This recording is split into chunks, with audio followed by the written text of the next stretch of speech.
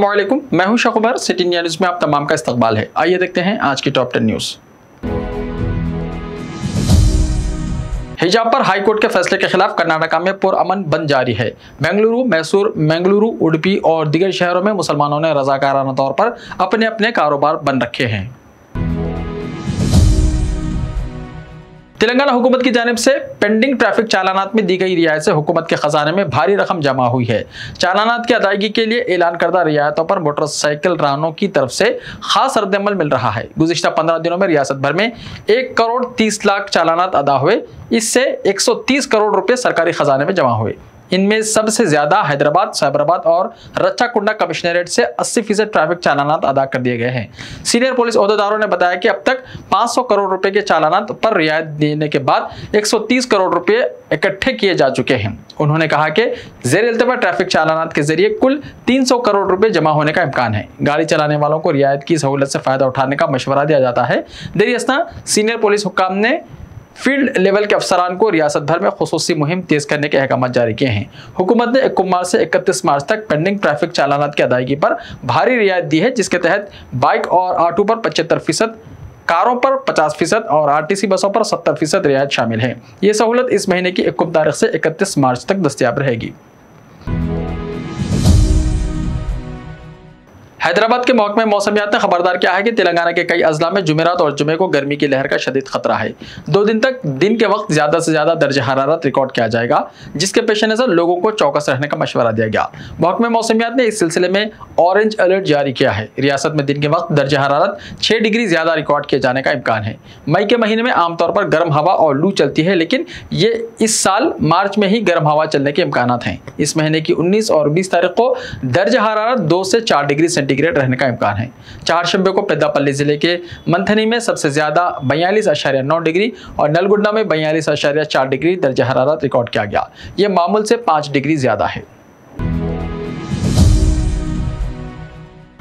मौलाना आज़ाद national Urdu university तरबियत व तैनाती सेल के जेर अहतमाम निज़ामत फासिलाती तालीम, यानी डिस्टेंस एजुकेशन के साल आखिर, यानी फाइनल ईयर और कामयाब तलबा के लिए जॉब मेला ऑनलाइन और ऑफलाइन का 29 और 30 मार्च 2022 को C S E academy building में इनका अमल में आ रहा है।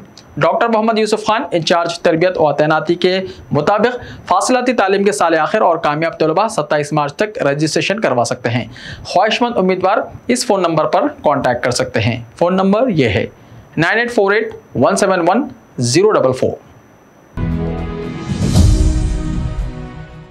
माह रमज़ान मुबारक में रात देर गए तक होटलों और दुकानों को खुले रखने की इजाज़त रहेगी। इस सिलसिले में रियासती वजरा मोहम्मद महमूद अली के ईश्वर और श्रीनिवास यादव ने महकमे पुलिस के आला अहदेदारों को हिदायत दी है कि वो रमज़ान में रात में खुली रहने वाली होटलों और दुकानों को बंद करने के लिए दबाव ना डालें। हैदराबाद में इन तीनों वजरा ने पुलिस, जीएचएमसी बरक़ी और दीगर महकमों के आला अहदेदारों के साथ रमज़ान के इंतज़ाम का जायजा लिया। इजलास में मजलिस के अरकान असम्बली और council commissioner police Hyderabad C V Anand GHMC commissioner Lokesh Kumar भी मौजूद थे। इस मौके पर रियासती वजरा ने रमज़ान में बिला वक्फे बरखी सरबराह करने और पानी की किल्लत पैदा न होने देने का मशवरा दिया। मसाजिद और ईदगाहों की मरम्मत और आहक पाशी के कामों को जल्द मुकम्मल करने की हिदायत दी।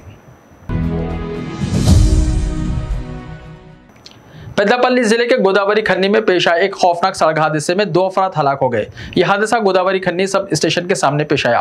तफसीत के मुताबिक केशवपट्टनम मंडल के मौला गुन्नूर गाँव से ताल्लुक़ रखने वाले पदारी समाया पचपन साल और हुजूराबाद मंडल के चौपाका गाँव के नीलम सिद्दी चालीस साल टू व्हीलर पर एक तकरीब में शिरकत के बाद वापस हो रहे थे कि गोदावरी खन्नी के सब स्टेशन के पास उनकी तेज़ रफ्तार गाड़ी ने सड़क पर पैदल जाने वाली सी एच शंकर माँ नामी एक खातून को टक्कर देते हुए रोड डिवाइडर से दोनों टकरा गए, जिसके नतीजे में समाया और नीलम सिद्धि के मौके पर ही मौत हो गई और शंकर अम्मा को शदीद जख्मी हालत में सरकारी अस्पताल ले जाया गया, जिसकी हालत तशवीशनाक बताई गई है। शहर हैदराबाद में स्ट्रैटेजिक रोड डेवलपमेंट प्रोग्राम यानी एस के तहत मजीद दो अहम प्रोजेक्ट्स आवाम को दस्तियाब हुए हैं।